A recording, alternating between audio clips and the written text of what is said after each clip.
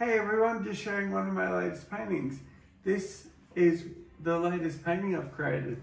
If you saw recently, I shared a time lapse. This is the painting I created. I used a few different techniques to create this one.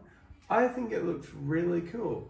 I will have a photo of this painting on Art from the Blind Side, so make sure you check out that.